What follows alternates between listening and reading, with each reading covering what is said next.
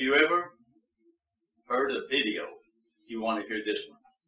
This is the 10th chapter of the book of Revelations. You eat the little book, and you're going to eat poison. Now, I told Basol a long time ago, I said, you can't preach Matthew, Mark, Luke, and John.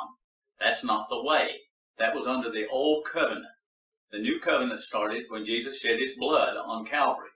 They were still sacrificing sheep. They were circumcising people. They was paying tithes under the old covenant. And he was putting people on the wrong path. And I told him, I said, you're going to get a noisome, grievous sword. Now read. This is Bassoff's words. And on a video he made this month. It's called, he said, Today I went for my ninth radiation therapy, 19 more to go. As the radiation therapist was preparing me for radiation, the one therapist asked me about South Africa, and then the other one asked me why I came to America. Why did I come here? Why did I come here? And I said, because God sent me. I shared my testimony with him how 20 years ago I had a heart attack and I died. Even though I was a Christian, I found myself on my way to hell. But I pleaded with Jesus and he allowed me to come back to come and warn the world that Jesus is alive and hell is real and also that not long after the heart attack, Jesus gave me a vision of a place called Baltimore on the east coast of the U.S., and he told me to go there, which I did. And that is why I came here, to come and witness for Jesus, to come and tell the world that Jesus is alive and hell is real. It was also here that I was diagnosed with cancer. The one therapist was very quick to remark that the purpose for me getting cancer was so that I could share my testimony with them. They thanked me for sharing my testimony with them.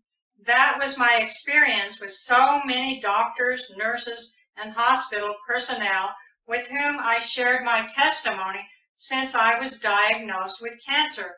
Jesus has a purpose with us, and he uses us for his purpose so that we can witness for him. Now, Basol got cancer from Jesus so he could witness to doctors. And how, how stupid is that? That's, that's creepy crazy. And I want Pumpkin to read to you the way our kingdom really is. Our kingdom don't work that way. You eat this Bible. He taught that so many years, Matthew, Mark, Luke, and John. God is punishing him. And he turned it around and said Jesus gave him cancer so he could tell the medical profession about it. Okay, now read. Oh. Eating the little book means you have faith in the book instead of in the spirit. The book is okay as history, but not for faith. Revelation 16:2. And the first went and poured out his vial upon the earth, and there fell a noisome, grievous sore upon the men which had the mark of the beast, and upon them which worshipped his image. That's exactly what happened to Basol. But he can't accept it. You can't correct a Bible worshiper. Mm-hmm. A Bible worshiper cannot receive chastisement from the Lord. No. James 5, verses 14 and 15. Is any sick among you? Let him call for the elders of the church, and let them pray over him, anointing him with oil in the name of the Lord. And the prayer of faith shall save the sick, and the Lord shall raise him up. And if he have committed sins, they shall be forgiven him. Does that sound like Jesus gives you cancer to go witness? Okay. If you have cancer, you're being punished and or you're being uh, punished because you're contrary to Christ. Mark 16, 18.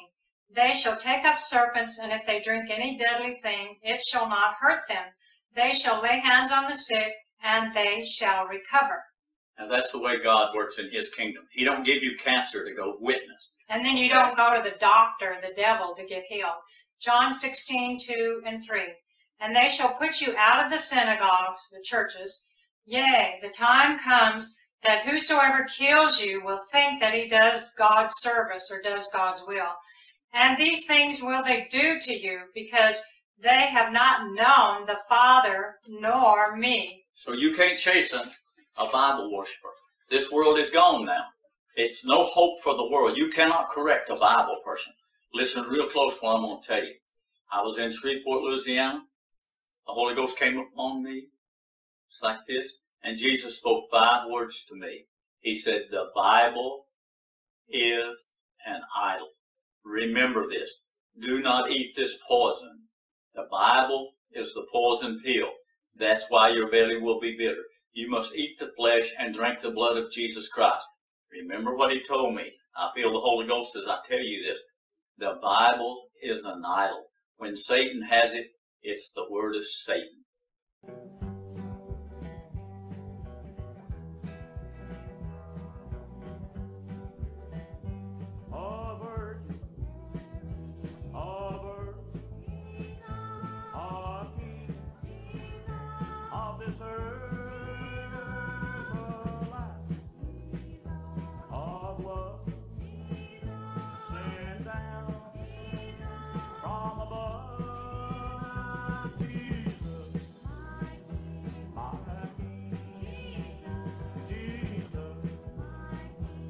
King, Jesus, love He brings.